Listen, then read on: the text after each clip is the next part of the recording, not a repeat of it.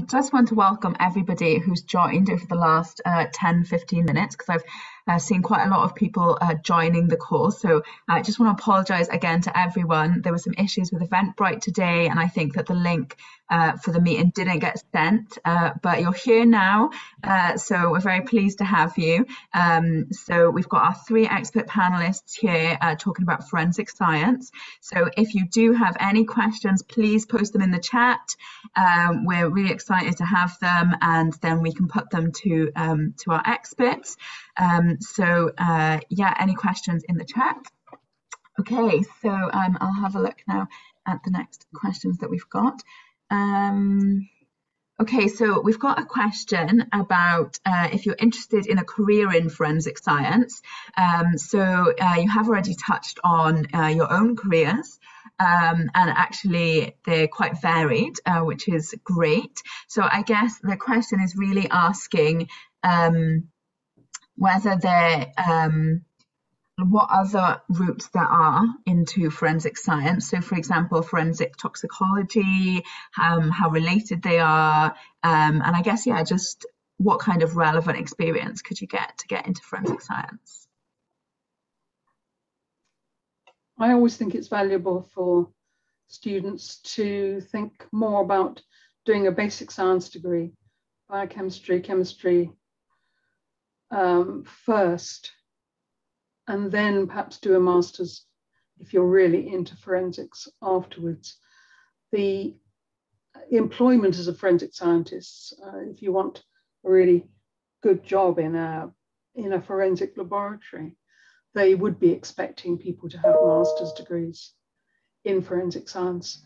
Uh, so um, I think a, a, a, forensic undergraduate degree by itself is not going to be as helpful as having a broader view of science generally. Okay. Yeah, I, I would agree. Um, there are, I mean, there are merits to doing forensic science undergraduate degrees versus pure science undergraduate degrees.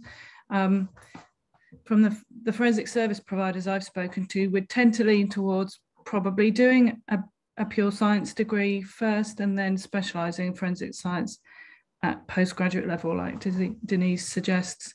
Um, and and yeah, she's right that in most of the forensic labs, we'll expect people to have master's level degrees um, to get into their jobs.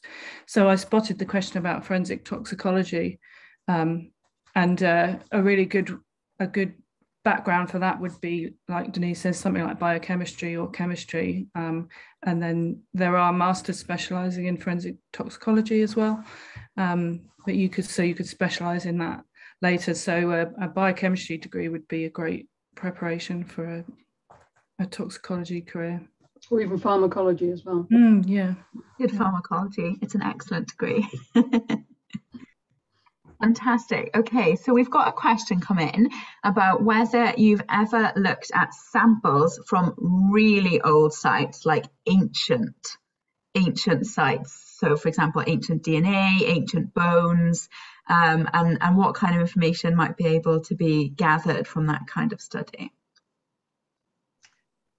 We've looked at some ancient samples ancient ancient bones, ancient hairs, and sometimes we get absolutely nothing, absolutely nothing at all. So we've been looking at uh, um, pigtails uh, that are from the sort of 16th, 17th century, wow. and uh, we can't get anything from them at all, even though we're using the, the most sensitive mitochondrial techniques that there are available. So when you say you can't get anything, what exactly do you mean there? We can't get any mitochondrial DNA out at all. So is that because there it's degraded over time? Degraded to such an extent.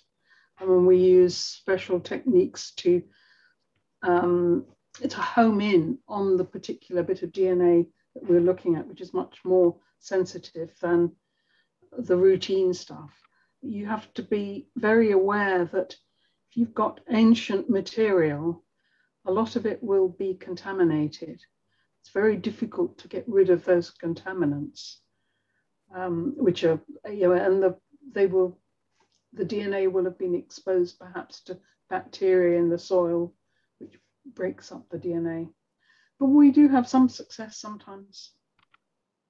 Good. But yes, but it's generally um, very, even so, it's generally very degraded.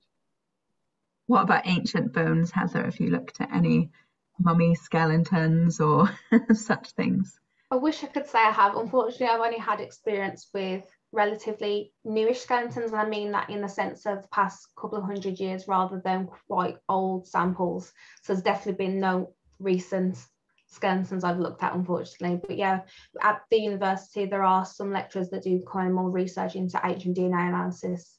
So we do get to learn about that throughout the, our educational journey, and that is quite interesting. But as, as Denise says, it's it's a difficult subject sometimes because it a whole of it a lot dep- depends on how the material itself has been almost preserved and how degraded the sample is and how the surrounding environment may have affected that sample because even a sample that's relatively new depending on the environment it is could be severely degraded where you might be able to get little or no DNA at all so it's it's a fascinating subject really because with forensic science there's so many factors which can affect everything it's really a difficult one really to get a solid result sometimes for whatever analysis that you're doing.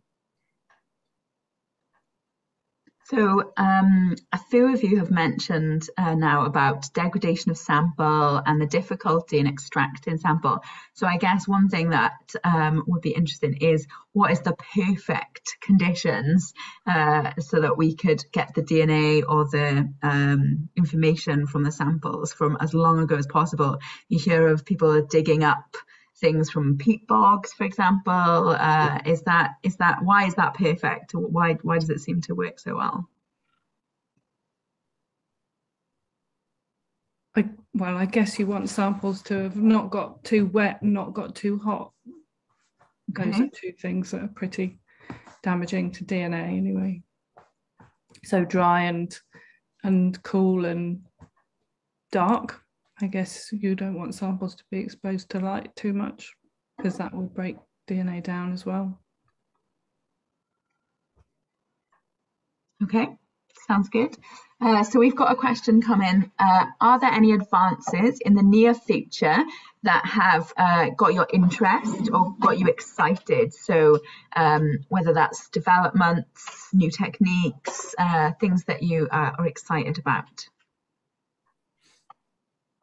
Yeah, loads. So, Do you want to pick the top one? Oh. I mean, there are some there are some advancements in forensic DNA analysis that are not that far away now. Um, I mean, they're being done in specialist labs like Denise's, um, doing things like predicting vi- externally visible characteristics of individuals, estimating the age of somebody from their DNA sample. Um, there's kind of big advancements in genetic genealogy.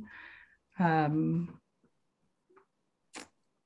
yeah, we're, we're doing, um, as Penny says, we, you know, we're doing all this age and phenotyping and uh, genealogy. We're using genetic genealogy, uh, particularly for um, sexual assaults on on women in the third world um, by aid workers. So they may be um, living with or having sex with aid workers, and then a child is produced, and the aid worker goes back to his country, and uh, there are children who have who have rights of um, you know where where they can apply to be. I mean, you know, if you if your father is British and you, you you just happen to be fathered by a British man, then you do have nationality rights. And we do quite a lot of work uh, using genetic genealogy for that purpose to uh, give people the rights to uh, come to the country which they're entitled to come to. Um, but also, ethically, uh, genetic genealogy is a big problem.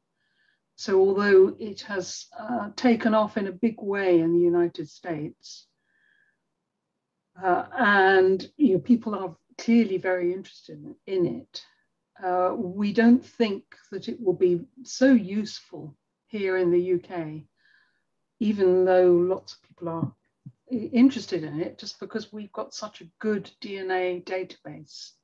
So the number of cases where it would be uh, useful is very, very few. Um, but there are a lot of unidentified remains where we do plan to be able to work on those. But um, ethics is a, is a big issue because you're not only investigating the uh, sort of genetics of the relationships, the particular things you found, there are all sorts of people because we're using public databases, there are people who have not given their consent to give their DNA or have their DNA looked at, who are um, who are identified because they are related to somebody who has. So it's a big issue. I'm going to come back to that point, um, but uh, just to round off, Heather, what is the exciting development that you are most uh, most looking forward to and eagerly reading about? fair, there's quite a few developments I think across forensics, and I think all developments are always exciting because it's nice to move forward and help pinpoint and refine analysis to ensure that you get the best results possible, and the most results possible. So I think it's all exciting, really. I think the thing that's piqued my interest most recently, as I mentioned previously, about how with skeletons, um, you can do biological profiles, so you can do people's sex essentially, so their biological sex it seems. But obviously, with nowadays people are identifying as transgender, so that's becoming a rising situation in society. So it's how we apply that kind of new information to the biological profile of um, skeletal remains, for example, as we don't want to missex somebody uh, as they're presented, but obviously sometimes the skeleton may present that a person is has male or male likewise features rather than what they present as female. So the talk and the development about how we go about using this and also how we identify ancestry of human remains is also quite exciting, I think, as it's a right a step in the right direction, really, of understanding society more and taking into account people's individual choices and lifestyles and making sure that even after death they're respected in their wishes of how they've lived their life essentially. So i think that's exciting to me that's great. It's great to hear that uh, forensic science is still developing, even though uh, we cracked DNA sequencing. There's still lots more exciting things on the horizon. It's fantastic to hear. Uh, so someone has asked, uh, I know we've, we've spoken already about uh, degradation of samples, which sounds like it's incredibly frustrating, um, but somebody has asked, what's the most frustrating part of what you do? So uh, maybe except for when your sample has degraded, what's the most frustrating part? I think spending a whole week in a lab, pipetting like crazy and taking utmost care and you're covered in body, you know, full body suits and you're working away and you're doing, you know, some of our sequencing is of eight hours on the trot. And then it goes onto a machine which may take 48 hours to run. And then at the end, there's nothing there. Or it's or it's complete, or you've put too much DNA there, or you haven't put enough, or whatever. And you're you've got nothing. So that's very frustrating. You you've worked so hard for a week. Yeah, of course. I think in the times it's mainly when I did lab work, I suppose, like Denise says, it's when you kind of put so much time and effort into something and it may be and something just hasn't gone wrong. Like at the moment, I'm doing a lot of forensic microbiology, so I'm working with bacteria. And sometimes if I don't seal my plates properly or say I leave them in the incubator a day too long, for, for whatever reason, I just can't get back into the lab and take them out and it kind of all falls to pieces a little bit. It's so annoying how just time gets away with you sometimes and there's just a few hours and something like that can affect results so much. So it's just the little little little DNAs um, bacteria have just escaped from my plate. I'm like, oh no, come back. so that can be the most frustrating thing sometimes. Is you can't keep, can't keep the living things in one place. yeah, I mean, I, I would agree. Just the amount of time it takes to do stuff and things go wrong and things get contaminated no matter how hard you try. Um, yeah, just general molecular biology woes, really. I can or definitely. When you have, Or when you have a single hair in a tube, you open the tube up and the hair goes up in the, in the you just lose it all together. I yes. think it's just so go on. No, I was going to say we had that. We were analysing some beaver DNA samples earlier this year, as you do, and um, we had some beaver tissue, and it was so dried and and light. We tried to cut it, and it just sprang everywhere. I just think it's so interesting that all of you are talking about the frustrations of the time and the effort and the long procedures, and it is just such a complete contrast uh, to the the CSI and and the TV programs where they go jing jing jing and there's the answer. Yeah, it takes two minutes. I think um, it's and he's really... guilty, and he's guilty. Yeah, yeah and, and of course you already know the answer. okay. Um, so um, let's see what other questions have we got. Okay, so we've got a question about data collection. Um, so I think we've spoken quite a lot about what you do once you've got the sample um, and then you've many different techniques in, the lab to try and get information from it.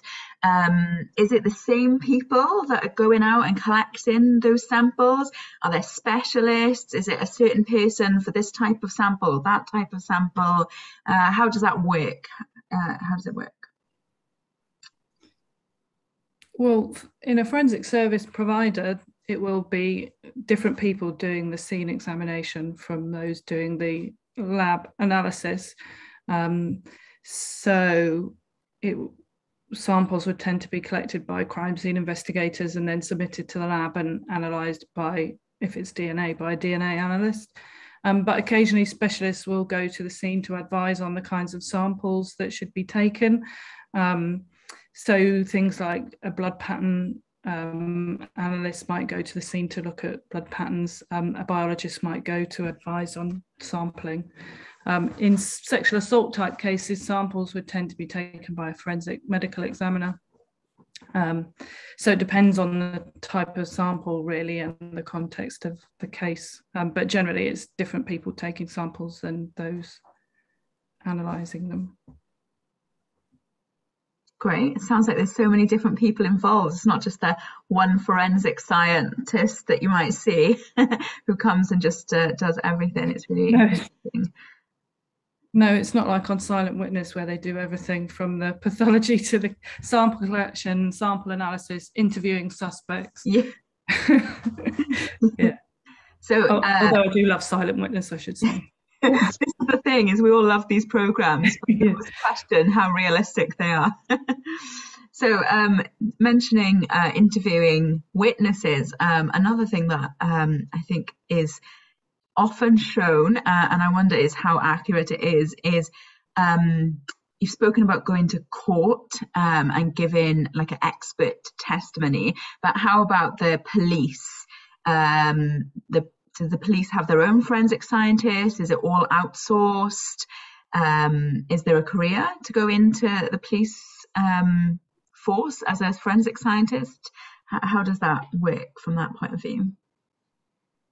Um, some of the police forces do have their own forensic labs, but the, um, it's only more recently that those laboratories are run only by the police are increasing because they have to have accreditation and forensic accreditation is really difficult for a laboratory to to attain. I mean, probably takes two years and a lot of money uh, for a an organisation to go through that process.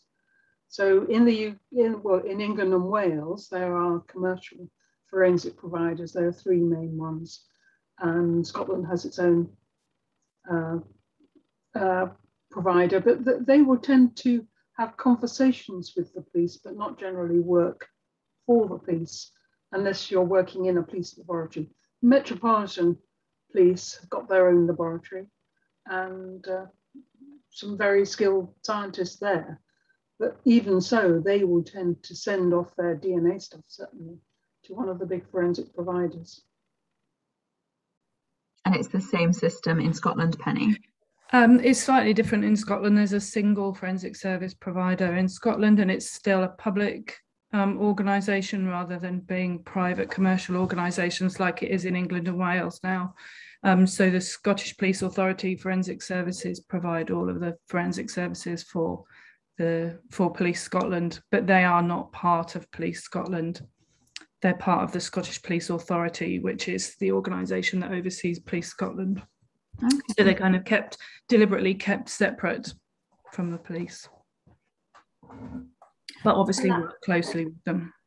Sorry, sorry. It's okay. To touch on that as well, um, I'm not sure whether people may have seen on TV recently, but I believe on ITV2 or I mean BBC Two, sorry, there was a CSI program, and that kind of followed the the kind of forensic science that's in police forces, I believe around the West Midlands kind of region, because I know it mm-hmm. touched upon West Midlands Police and followed some of the CSIs there to real life cases that occurred, and it followed them and showed them kind of collecting the evidence and then how the evidence went through kind of their departments. Because I know West Midlands Police, they have their own crime scene investigators, which go out and then take samples from the scene and they do their own fingerprint analysis and kind of CCTV analysis and neighbours analysis, stuff like that. So there are kind of programs on TV that explore the kind of the police aspect in more of a real life fashion rather than the media media shows that follow crime really. So there are nice representations of and more realistic representations of how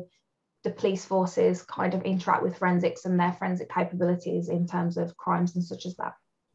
Great, that sounds really interesting. I'll definitely check that out. Uh, yeah, that sounds really good. Thank you so much for sharing that.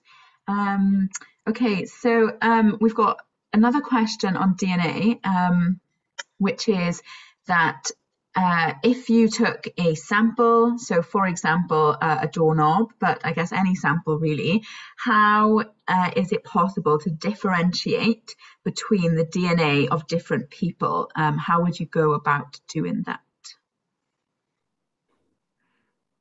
Denise? Well, I, yes, I can answer it. Um, yes, you, I mean, the most important thing is what you don't do is when you've got all these bits of DNA from loads of people, what you don't do is you have your suspects and you try and fit them into this mixture. That's really, um, really a problem, and that you can, you can end up with a very biased approach. But uh, there are mathematical solutions, mathematical and statistical solutions that can avoid that bias and help you um, look at the evidence that a particular person has contributed their DNA.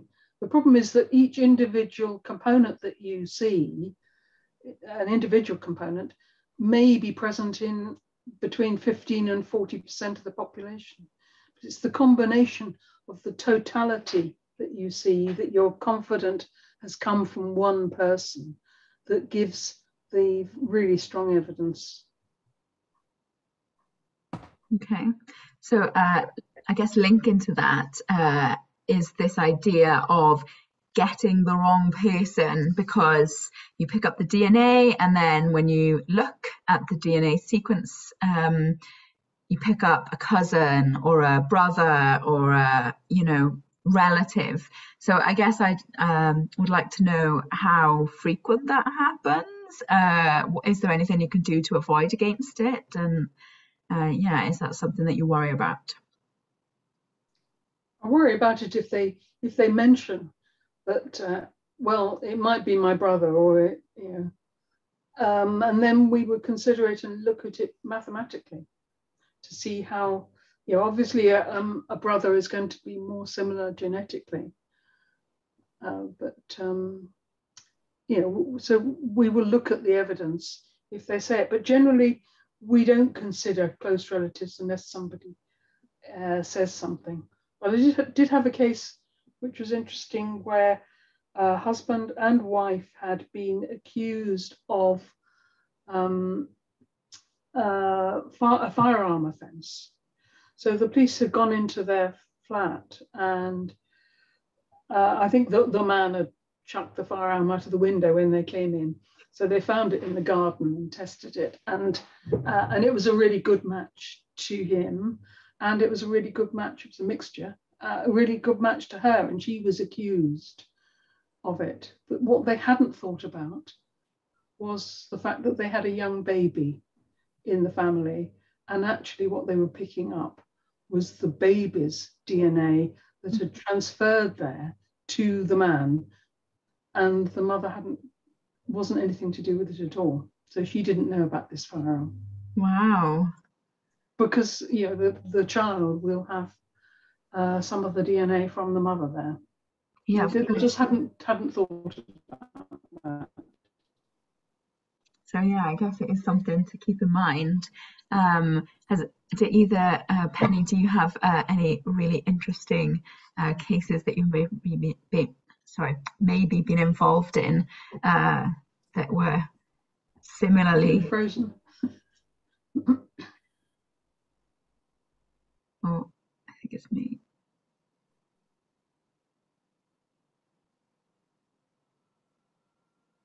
I think you always need to have an open mind about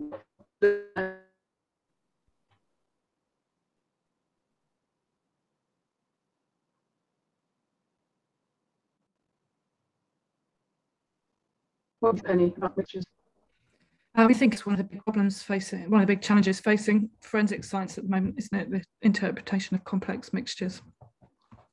Um, yeah, I don't have much experience of using any of these new probabilistic genotyping softwares, but um, they do seem to be uh, very good at, at um, dealing with much larger numbers of, of contributors to a mixture. Yes, yes, they are good, I think. Okay, am I back now? Sorry about Yeah. that. I'm not sure what happened uh, just then. I think it was me. Um, so sorry about that. Uh, that's the fun of virtual events. so yes, I'm back now. Um, so I guess uh, the next question I have is we've talked a lot about DNA, um, but what other kinds of samples? Um, I think Penny mentioned blood patterning. Um, I don't know if that's to do with DNA. Uh, what kind of other information can you get apart from DNA uh, information from, I guess, a crime scene or, or a scene where you want to investigate?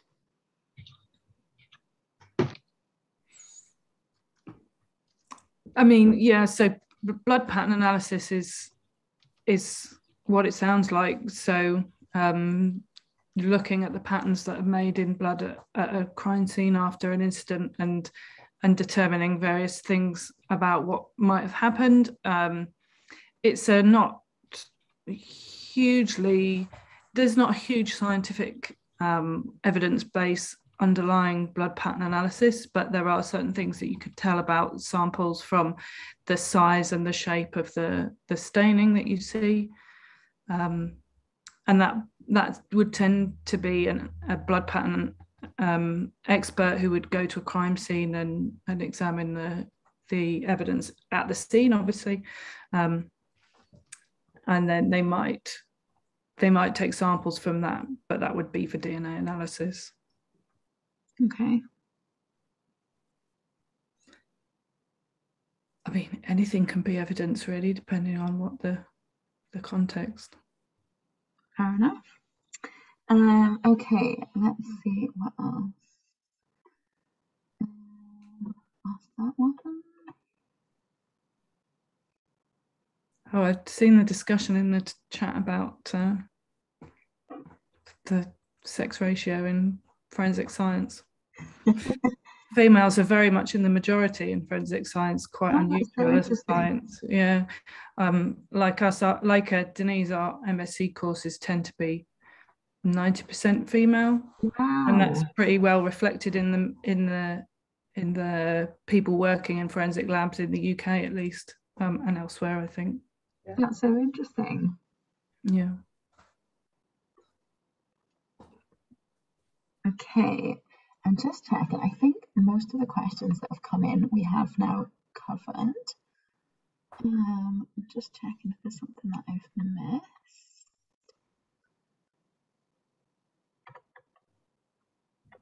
Okay, no, I think that is any, everything, unless uh, uh, our little uh, ScotSci owls uh, working in the background uh, highlight anything new to me.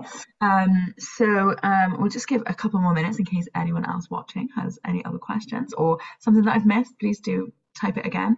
Um, I could definitely have missed it.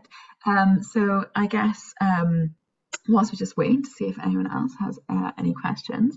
Um, um, oh, okay, we've got one. Um, what kind of tests are done in forensic toxicology um, and how long does it take? So I guess, is that looking for uh, other substances that might be present? Perhaps, um, I'm not sure.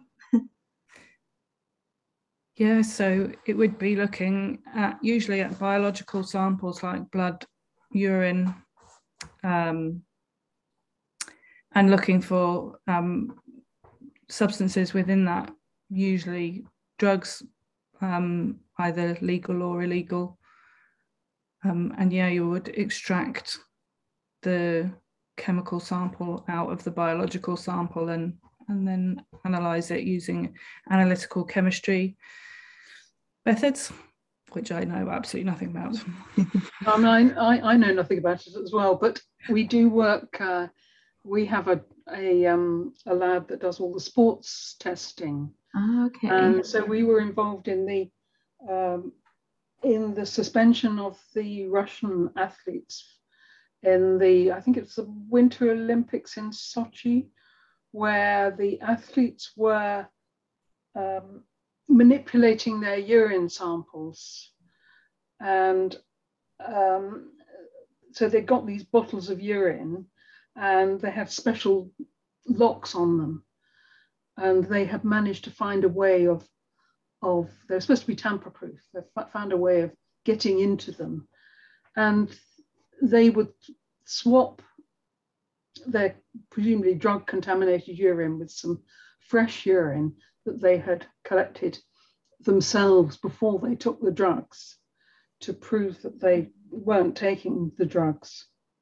Uh, but you, you'd have to make things like the specific gravity the same uh, so that you know, it looked the same. And they put salt into these things. So uh, our lab was analyzing the amount of salt to see if it had been manipulated. And then we had to analyze the DNA in the urine. And quite often, uh, what we would find is that because these athletes had collected their urine over a long time to substitute over time, uh, they, they'd run out of their own urine. they put somebody else's because it had a different DNA. or it might be a mixture or something. But anyway, it was it, it was a very effective way at um, uh, stopping the Russians uh, uh, banning them from the um, from the Olympics. It's really fascinating. We actually had a ScotSci event a couple of months ago. Uh, we had a um, sports doping science expert. Oh, yeah. Uh, who came and spoke to us, and we watched a, a, movie which is available on Netflix. I forget the name of it at this present moment, but they it was a whole uh, documentary about how that happened, and yeah, it was a crazy operation. Uh, almost had a little bit of respect for the dedicated lengths that they were going to, but obviously, uh, you know, totally not in the spirit of the uh, Olympics or any sports for that matter. So that's that's really interesting. Yeah, we we also did a case where uh, the athlete had been had been banned because of a, a substance, and it was found out that the again uh, somebody else's urine had been put there instead. And yeah, that was one of the people who who was presumably collecting the urine from the athletes. So they have to be viewed. You have to have a witness to peeing your sample. Um, these witnesses can be paid sometimes. Amazing. Black market in uh, urine collection. Who'd have thought it? it's something you don't normally value very much. okay, fantastic. So uh, we haven't, I don't no, we haven't had any uh, further questions uh, come in. Oh, thank you, uh, Paula. Yes, Icarus, that is the name of the documentary on Netflix. A very interesting documentary, uh, which talks all about, uh, yes, what Denise was just uh, speaking about um, and how it was run. And they actually, um, they end up interviewing one of the scientists, the Russian scientist who was involved, and his lab was like the main operation where they were performing this uh, yeah, all of these swaps uh, with the urine. So yeah, definitely a, an interesting look and, and check out our um, our event on that. But I think um, with that said, yes. Can I ask Heather a question? Would that yes, of course. Go ahead. Thank you. Sorry, I just wondered what you thought. Uh, there's been quite a bit of debate about um, body farms in the UK, and um, a lot of people are in favour of it, and a lot of people are very strongly against it. And I just wondered what you thought. Uh, thank you, Penny. Thank you for asking. Um, yes, as you say, it's, it's got quite it's quite debated, especially within the forensic science community within the UK, as there are um, forensic scientists that go either in favour for body farms in the UK or human farming facilities, what they're called, or those that strongly oppose it because they believe that animal uh, good enough, animals are good enough analogues as humans, so we don't need to do actual research on humans to apply the findings to the wider public. I personally do support um, human body farms in the UK, or at least the possibility of having them in the UK. I think they would be a good attribute to research that happens in the UK within the forensics um, science community. As mentioned previously about like samples degrading and how other various aspects can affect these samples, that's the same that happens to someone once they die. So circumstances such as the geographical location and the climate conditions, whether they may be wearing clothes, well, whatever they may be buried in once they've deceased, all these essentially affect how quickly the body starts to degrade. Once again, that key word, degradation. Mm. So all these factors affect how quickly someone starts to degrade. And so this really affects with how we can determine how long someone has been dead, essentially, in the simplest terms.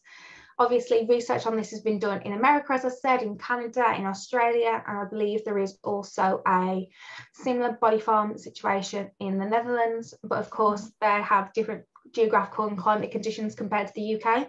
I think we're quite similar to with Netherlands a little bit, if well, the closest, I suppose. But it's not really applicable to take the findings that they have discovered and apply it to all the environmental conditions that we have here in the UK. Because if you look at, say, for example, Tennessee and that beautiful, glorious, hot, sunny weather, mm. we're probably lucky if we maybe get that once once a year here in the UK, and that's the day we all get our barbecues out, and that's it, it's mm. done.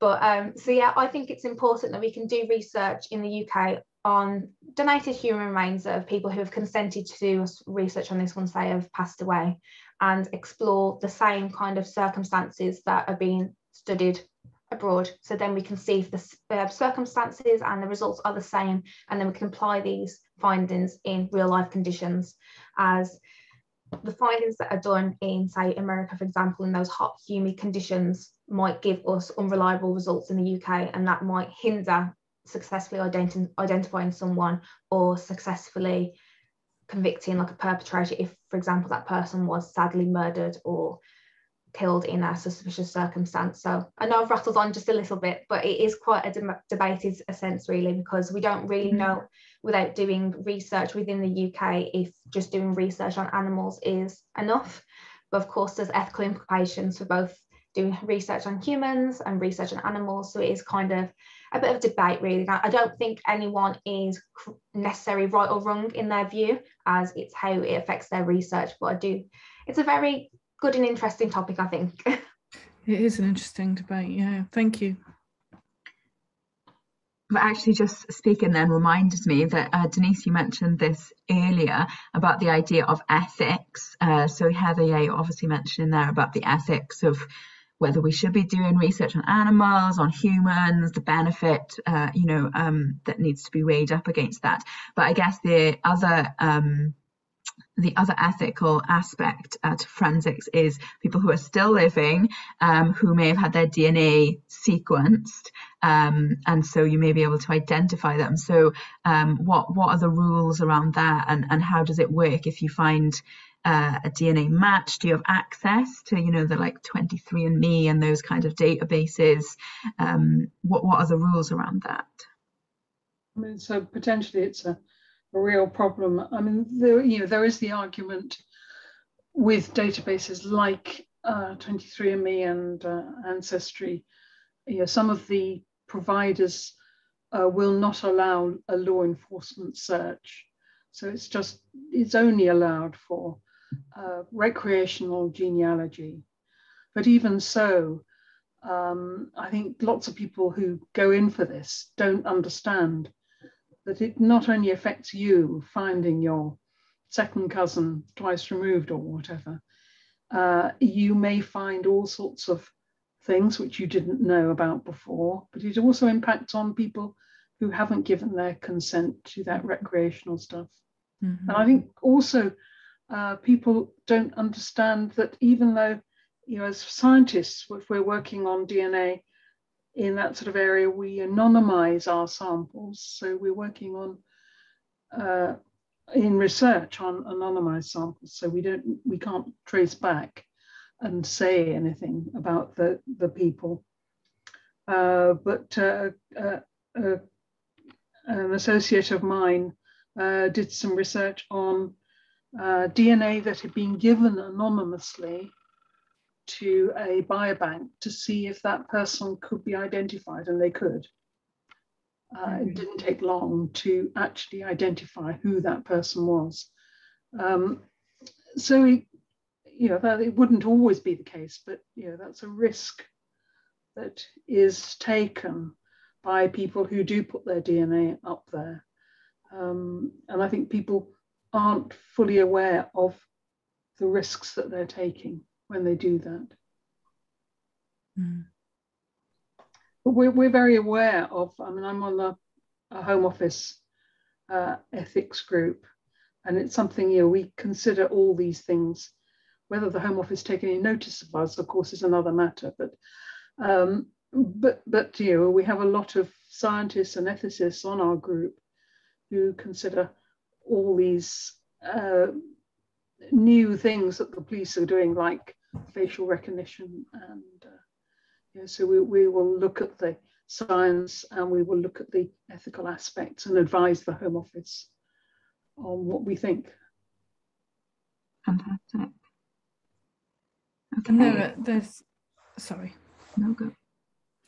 I was going to say there's there are also ethics around everything that's stored on the DNA database in the UK, um, and the the law has changed around that um, in the last 10 years. Um, so it used to be the case that you could keep DNA profiles pretty much indefinitely for anyone who'd been arrested for anything but fairly minor offences. Um, but after various cases and um, rulings by the European Court of Human Rights, it's now much more restrictive in England and Wales. It was always much more restrictive in Scotland, um, but the law is now very similar across the UK. Um, so if somebody is um, arrested but not charged or charged but not convicted, um, then their DNA profile has to be deleted from the database, or at least it's supposed to be. And the good thing in, in the UK is that these databases are held very securely mm-hmm. and by independent people, whereas in lots of countries, the database is held by the police. And then there is potentially the opportunity for um, manipulation in some way. Yeah, the access mm. Yeah, access to the UK database is very highly restricted. There's only a handful of people are allowed to access it. Well, I think that's reassuring, at least for people in this country. Okay, I think uh, we will draw to a close at this point. Uh, so I just want to say thank you so much to all of our panelists. I've definitely learned a lot and really enjoyed hearing from all three of you uh, about your experiences. I hope everyone uh, in the audience uh, feels similarly uh, um, educated around the world of forensic science. Um, and so, yeah, uh, this event was run by ScotSci, and uh, you can check out more of our events uh, in the future. We're always uh, open to suggestions of events that you might want to hear about. All of our events are free and open to the public, uh, so you can get in touch with us. You can follow us on social media. And you can also follow all three of our panelists on Twitter if you're interested in their research. Uh, so if you go into the ScotSci Twitter page, uh, we've tagged all three of you guys uh, on there so you can follow the developments uh, that are going on. So uh, with that, uh, I'll just say thank you very much to everyone for coming and thank you again to our fantastic panelists. Thank you very much for inviting me. Thank Yes, you, thank you. Enjoyed it. Thank you. Fantastic. Okay. Good night, everyone. Bye. Good night. Bye.